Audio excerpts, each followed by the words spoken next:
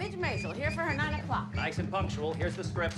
Thank you, sir. It's a spot for a business in the Bronx. Playing a four-year-old girl?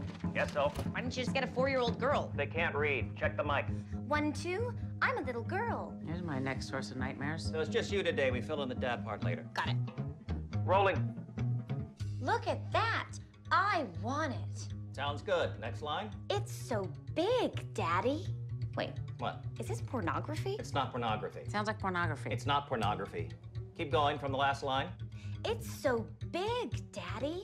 I want to lick it. This is pornography. definitely pornography. No, no, look. She's a kid out with her dad. He's buying her an ice cream bar. Yeah, a cat house. Not at a cat house. This is pornography. It's not pornography.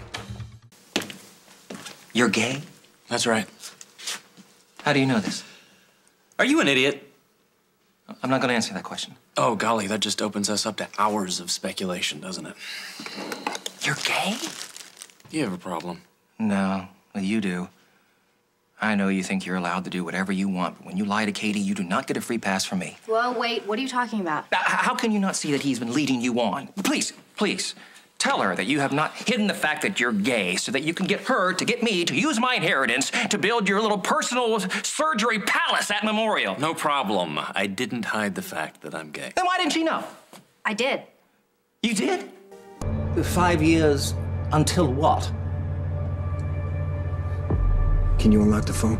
Of course I can. It's my phone. Of course, you'd have to untie me first. Yeah, but don't try anything. Wouldn't dream of it.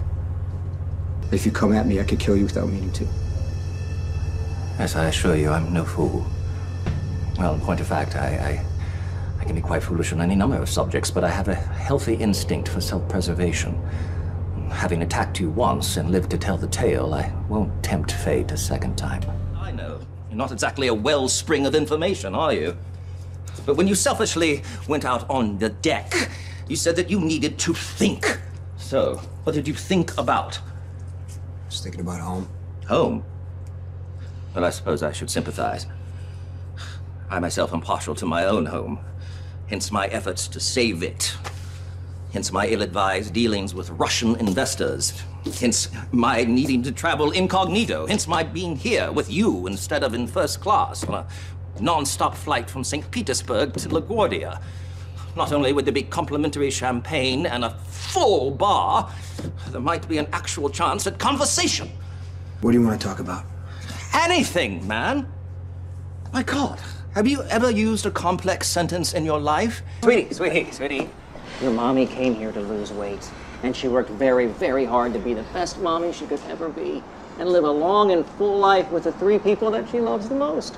Now, aren't you proud of her? I want my mommy. Kid, I've been working on TV since I was four. You need to pull it together. Hey. Say what? God, God, what? I'm gonna get your judgment now? What, don't you dare to turn that on me!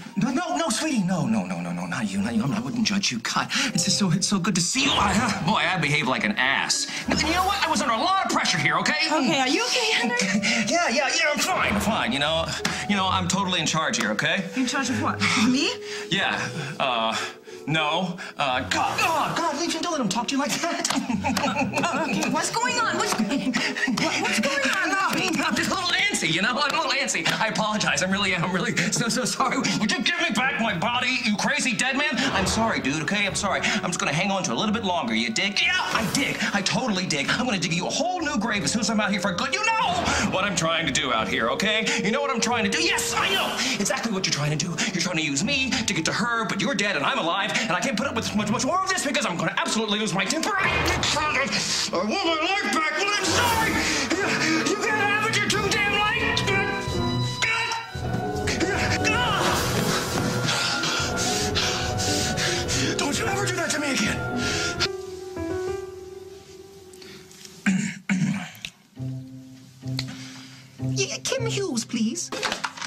Kim Hughes.